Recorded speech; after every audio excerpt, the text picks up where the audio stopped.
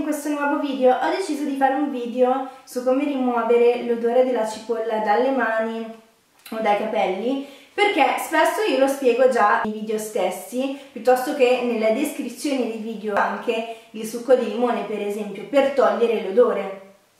Eh, infatti mi sembra un po' impossibile che ci sia gente che eh, abbia problemi con la cipolla o che dica che è complicato perché in realtà esattamente come quando fai lo shampoo poi metti il balsamo, lascia agire, poi dopo lavi i capelli anche col succo di cipolla, eh, utilizzi del succo di limone, ovviamente non vi esponete al sole quando usate il limone, lascia agire un po', poi lavi il bicarbonato la menta, ok? Sulle mani basta acqua e sapone, ma cioè è come usare un balsamo, non mi sembra nulla di così tanto complicato o sì, quando tagli la cipolla ovviamente senti l'odore della cipolla ma nella stanza, ma quando l'applichi sui capelli, essendo che l'applichi così com'è, e poi che comunque in generale ci sono questi rimedi, non, non ci dovrebbero essere problemi. Allora, uno sicuramente è il succo di limone, come spiegavo prima.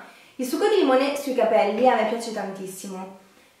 L'unico accorgimento che, che, vi prego di tenere presente è che uno potrebbe schiarire i capelli e due potrebbe eh, non esponetevi al sole se avete usato il limone, soprattutto senza cappellino, senza protezione, non esponetevi. Per il resto io utilizzo un po' come si fa con, con gli impacchi, faccio il succo di cipolla, lavo bene con lo shampoo logicamente, faccio il balsamo, applico il succo di limone, aspetto 10-20 minuti lavo i capelli, sono pronta, esco e nessuno mi ha fatto notare che puzzo di cipolla, anzi spesso mi dicono anche che so del mio shampoo quindi, o del mio balsamo. E quindi non mi sono mai posta il problema, al massimo avrete una sensazione agrumata addosso che non c'è nulla di male a sapere di limone, ma comunque non ho mai riscontrato questa problematica, né anche chiedendo a mia sorella, che è molto sincera con me perché non ha problemi, mi è, mi è, stato fatto notare di puzzare di cipolla. Questo è uno. La menta, la menta è, eh, diciamo, una delle cose con il giardino che più mi piace e eh, quando ha la menta sia fresca che, che, secca mi piace utilizzarla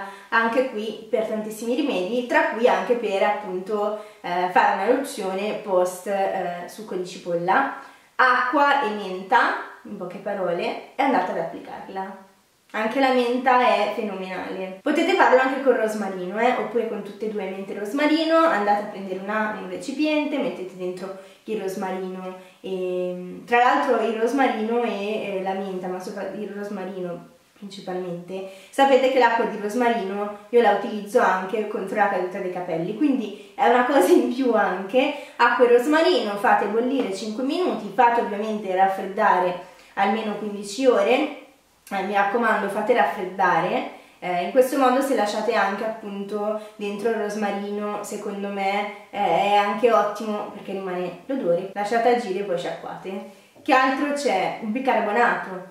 Ma comunque se usate questi tre rimedi io non credo che ci saranno problemi di odori. Poi ripeto tutti siamo diversi però la cosa che mi sembra più strana di tutte è che io ho i capelli fini che assorbono tutto infatti io sembro sempre una pecorella perché ho questi capelli che assorbono veramente la qualsiasi si sente su di me? Non credo che si senta su un capello spesso che non assorbe niente. Però io vi do i miei, i miei rimedi quindi io vi dico io faccio così se vi convince fatelo, se non vi convince non fatelo. Ci sono tantissimi altri rimedi per far crescere i capelli. È tutto, un bacione, noi ci vediamo nel prossimo video. Ciao!